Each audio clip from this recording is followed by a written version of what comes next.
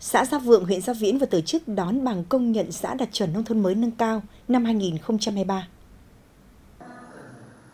Sau khi được công nhận xã đạt chuẩn nông thôn mới vào năm 2020, Đảng ủy, Ủy ban nhân dân xã Gia Vượng đã tiếp tục chỉ đạo các ban ngành đoàn thể chính trị xã hội, các khu dân cư triển khai xây dựng nông thôn mới nâng cao trên tinh thần dân biết, dân bàn, dân làm, dân kiểm tra, dân thụ hưởng.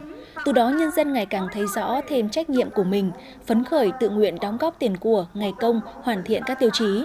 Với mục tiêu nâng cao chất lượng cuộc sống người dân, địa phương đã đẩy mạnh phát triển kinh tế xã hội, huy động nhiều nguồn lực để làm thay đổi cơ bản bộ mặt nông thôn. Đến nay, kinh tế của xã có bước tăng trưởng khá, thu nhập bình quân năm 2023 đạt 69,9 triệu đồng trên một người một năm. Trên địa bàn không còn hộ nghèo, tỷ lệ hộ cận nghèo theo tiêu chí nâng cao chỉ chiếm 0,5%. Kết cấu hạ tầng kinh tế xã hội được nâng cấp, xây mới tương đối đồng bộ, khang trang. Toàn xã có 16 tuyến đường với chiều dài gần 20 km đã được bê tông hóa, có tuyến đã được nhựa hóa, có hệ thống điện chiếu sáng, trồng cây, trồng hoa, đảm bảo xanh, sạch đẹp. Tình hình an ninh, trật tự trên địa bàn luôn ổn định.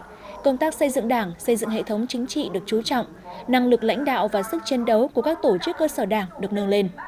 Với những cách làm sáng tạo và hiệu quả, đến tháng 12 năm 2023, xã Gia Vượng đã hoàn thành 19 trên 19 tiêu chí xã nông thôn mới nâng cao theo quy định, được nhân dân hài lòng và đánh giá cao.